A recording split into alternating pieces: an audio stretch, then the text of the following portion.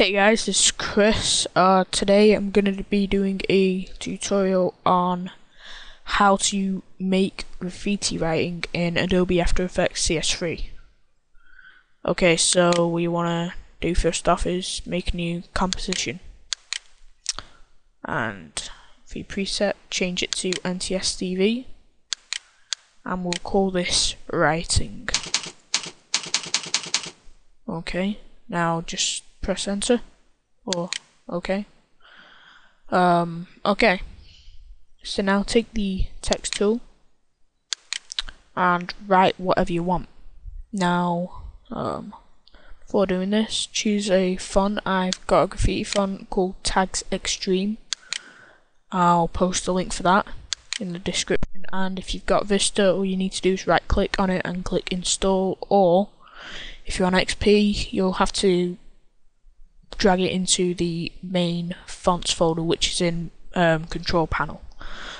Okay, so just write whatever you want. I'm going to keep it really basic. And by basic I mean, yeah, really easy to do.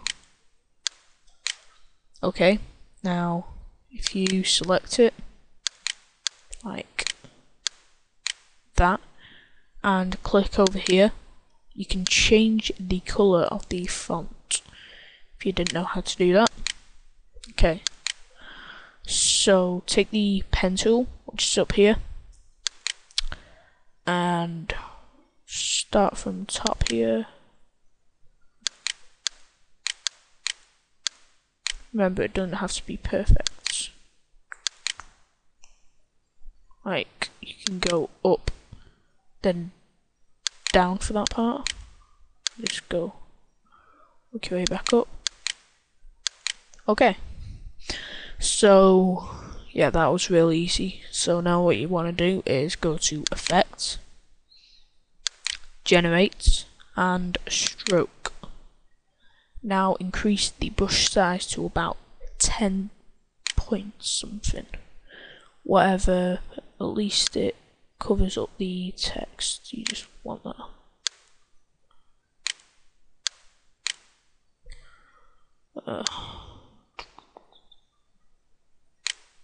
That'll do. Okay, so now you just want to take off the mask.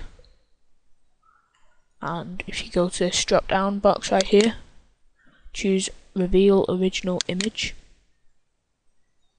Okay, so what you want to do from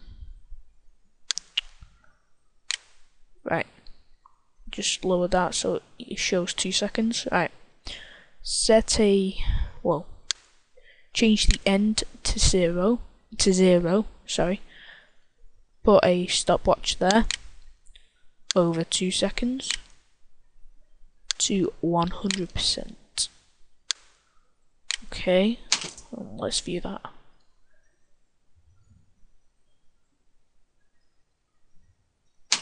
Okay.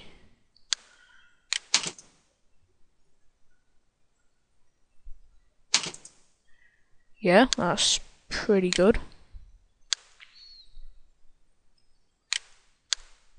Now we're just going to keep it really basic at the moment. You can add um, pictures to it. All you need to do is just um, it's like double clicking here and I'll just bring out an example for meanwhile.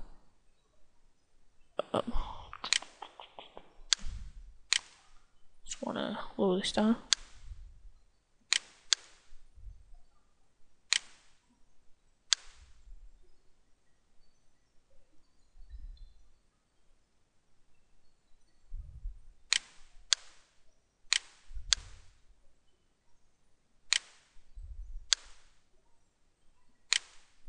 Okay, and I'm going to choose the text to be on top of this layer so oh wait I haven't done it didn't go on top there we go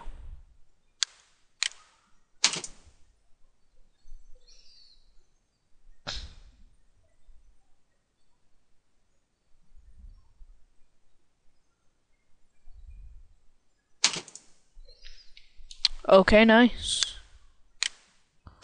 So that's looking pretty good. Okay, so to save it, you go to File, Export, and I like to save it as QuickTime movie, so it has the best quality for everything. So just click OK and save. Alright, peace out guys, thanks for watching this tutorial.